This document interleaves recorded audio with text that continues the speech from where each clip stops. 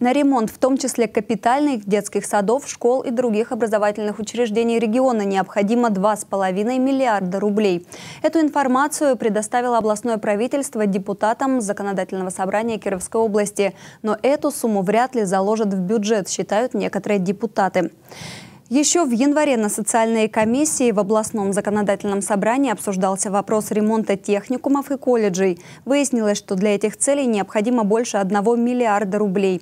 Также у депутатов стал вопрос, а что с детскими садами и школами? В Министерстве образования региона цифр назвать не смогли. Но по предписаниям надзорных органов эта сумма без расчетов и проектно-сметной документации составила бы 2,5 миллиарда рублей такая цифра просто для понимания, что у нас э, все не, не очень хорошо с ремонтами в школах, детских садах, да, по области в том числе.